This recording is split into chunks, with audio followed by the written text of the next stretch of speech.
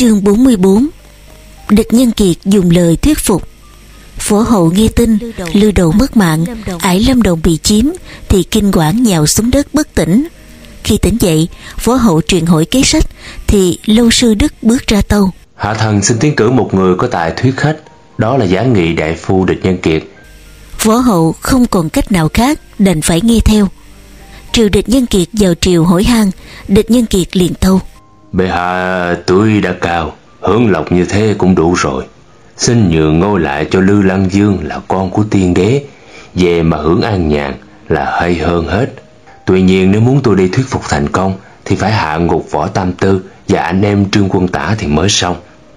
Phó hậu suy nghĩ một lúc biết chậm trễ một chút anh em Tiết Cương vào được thành thì mình sẽ chết không đất mà chôn. Vì thế đành phải gật đầu y tấu truyền chỉ bắt phổ tam tư trương quân tả trương quân hữu địch nhân kiệt thấy vậy mới chịu đến trại quân đường xin ra mắt Tiết Cương. Phái một cái rồi nói tôi xin nói một lời thẳng chẳng biết nguyên sói có dám nghe không? Tiết Cương đáp nếu thuận theo đạo lý thì tôi đâu dám cãi. Bằng không tôi chẳng dám nghe Địch Nhân Kiệt cực đầu hỏi ngay tại sao lại dựng cờ Trung Hiếu Vương. Khi nghe Tiết Cường đáp là để báo hiếu cha mẹ tận trung với nước, Địch Nhân Kiệt cười nói. Tôi xin được giải nghĩa cho Nguyên Sói biết. Tổ phụ Nguyên Sói có công lao nên tiên đế trọng dụng, phòng đến tước dương. Nhờ vậy Nguyên Sói mới được thừa ấm làm tổng binh Đăng Châu, chứ không phải nhờ tài năng. Như thế triều đình hậu đãi lắm rồi. Vậy mà tướng quân không bằng lòng ra tay cướp pháp trường chém tri phủ Tây An, Trương quân tả cố tình hãm hại, Nhưng thánh thượng chẳng chịu nghe theo, Mà còn ban trùy vàng Thì là việc đãi hơn người khác nhiều rồi. Tướng quân không nghĩ đến điều đó, Lén đến Trường An xem đèn, Giết nội thị mà tiên đế cũng bỏ qua, Thì càng nên nghĩ lại mới phải. Tương quân đã không hối lỗi, Mà còn kết giao với thảo khấu Làm cho tiên đế kinh sợ băng hà. Thì có tội hay không có tội? Thấy Tiết Cương ngồi im không cãi được câu nào, Địch Nhân Kiệt nói tiếp. Võ hậu bắt cha, anh và gia quyến tướng quân hạ ngục. Đúng ra tướng quân chỉ cần ra mặt nhận lỗi Thì đâu đến mức phải chết gần 300 nhân mạng. Chẳng phải là bất hiếu bất mục hay sao? Nó dù có tiếng của Lưu Lan Dương Nhưng vẫn là phản nghịch. Bởi vì Lưu Lan Dương chưa tức dậy Lấy gì phong cho tướng quân làm trung hiếu dương?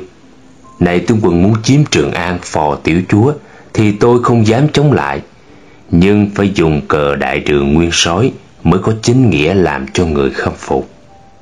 Tiết Cương nghe vậy giật mình, bước xuống bái tạ, xin nghe theo lời dạy.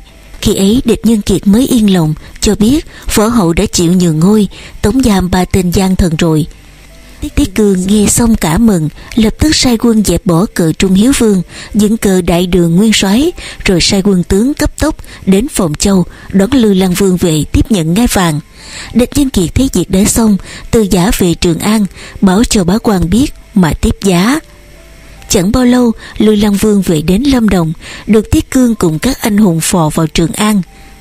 Có bá quan và rất đông dân chúng đứng hai bên đường, bày hương án nghênh đón.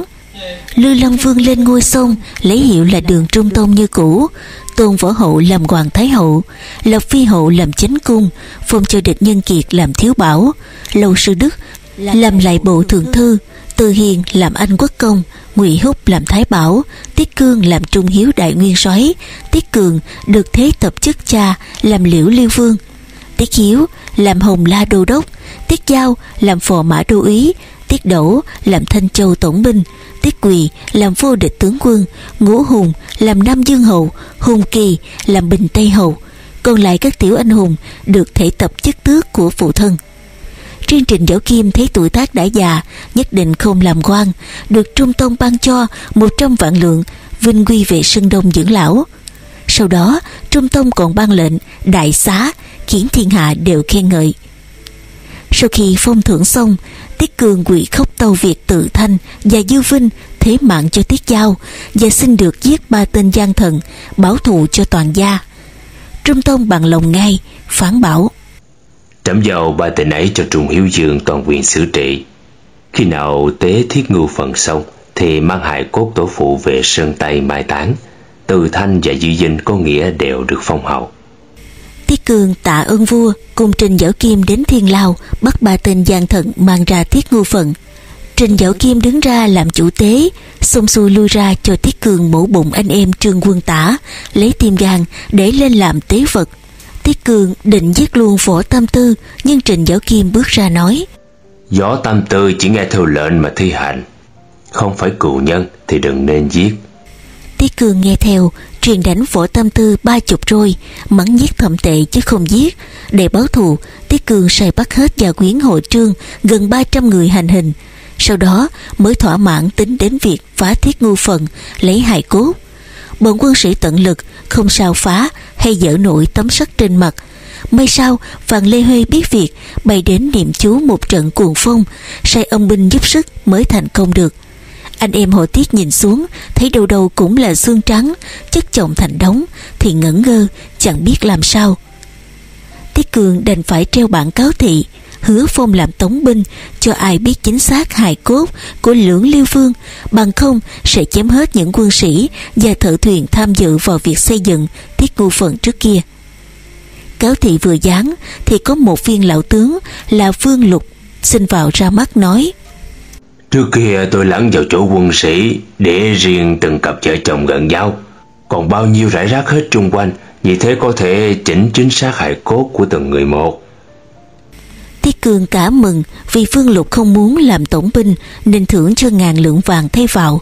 Như vậy, Tiết Cương lấy hài cốt toàn gia, đâu đó chẳng bị lầm lẫn. Mang về Sơn Tây an táng và thủ chế 3 năm. Từ Thanh và Dư Vinh vì cha mẹ đã mất nên không chức quan, đều xin lên núi tu hành. Riêng Trịnh Giáo Kim ngồi trong phủ tự nghĩ. Ta kết bạn với 36 người, này đều chết hết. Đến này đã được 102 tuổi. Thấy bao nhiêu là việc đổi đời. Từ La Thông Tạo Bắc đến Tiết Nhượng Quý Trình Đông, rồi Tiết Đinh Sang Trình Tây. Nay lại có Tiết Cương phục nhà đường thì vui biết mấy phúc phận biết là chừng nào. Nghĩ vậy nên Trình Dảo Kim vỗ tay cười ngất một hồi, Bất ngờ bị nghẹn hơi, Nhào xuống chết thẳng cẳng. Đó chính là tiếu sát, Tức cười mà chết. Trình Thiết ngưu thấy cha gì cười mà chết Thì đau lòng vô cùng, than khóc không thôi. Cho rằng vừa được Thái Bình chưa hưởng chút phúc quý nào, Mà đã dội bỏ con cháu mà đi. Trình Thiết ngưu than khóc chẳng dứt, Cố gượng viết biểu tâu vào triều Trung Tông cũng thương xót, truyền chỉ cho bá quan đến điếu tế đầy đủ, được mang linh cũ về sương đông mai táng.